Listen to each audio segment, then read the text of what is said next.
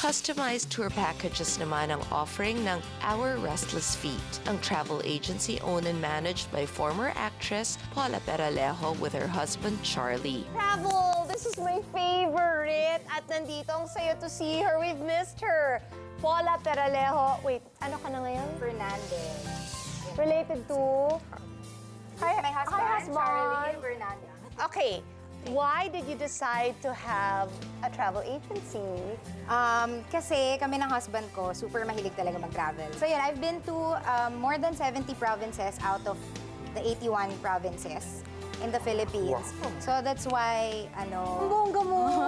True? Oo, promise. Okay. Oo, so... Kinabog mo pa ako ha, na feeling ko ang dami ko na napuntahan. Oh. Siyempre, Pero pero sandali, tinatanong. pause niyo yan. Paano ipopo? Ay, Ay, may wala. balik niyo si Taste of Cambodia.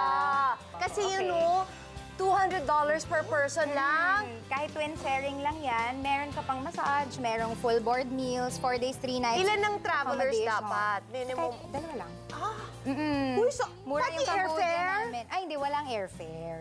Um, Land yan. Land arrangement ito, pero mura pa rin siya. Sobra. Kasi, ano yung iba yung um, packages? teka, Ano bang meron anong dala mo? Anong mga package? Tingnan Sige, natin go. yan.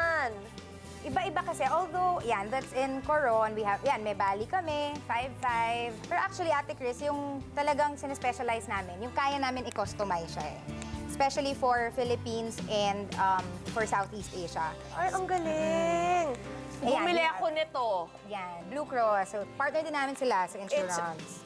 You know why? There was a time, hawakan ko na rin kasi dito kami papunta. Yes. Okay. Yan, partner din namin ng 2010, Amantolo. pupunta kami dito sana. Mhm. Nagkaroon ng hand, foot, and mouth disease in two kids. sagot nila. Nahawa ko sa fever.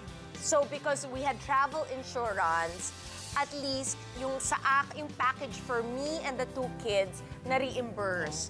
Worth it talaga Worth to. it. Ito daw yung mga ano, parang ang Pinoy talaga ngayon, di ba? More than Hong Kong daw, Singapore talaga ang gustong Oo, puntahan. nagulat nga rin ako kasi na nag-start ako ng agency, ang in-expect ko talagang inquiry sa akin, Hong Kong. Dahil ang mga Pinoy, di ba, ang unang pupuntahan talaga nila pag lalabas sila ng country, Hong Kong. Pero surprisingly, marami talagang Singapore. Okay, Philippines. Anong talagang mabenta na puntahan? Ah, laging tinatanong, Palawan. Para dun sa mga ano natin, mga balikbayan na who will be here Christmas, uuwi dito and they want to customize. Parang yung ano, from north to south na tour ng Philippines, kaya niyong gawin yon? Basta Pilipinas, kayang-kaya. How much? Ay, Should they set aside?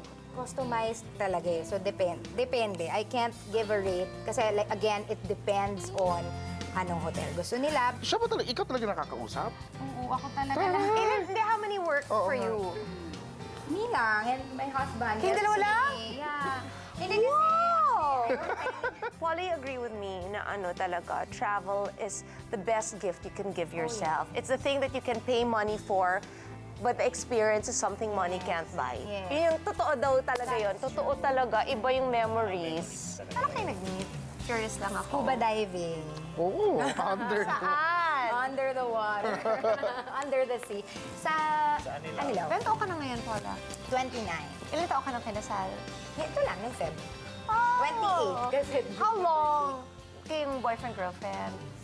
Six, more than, Tagal, wow. almost seven years.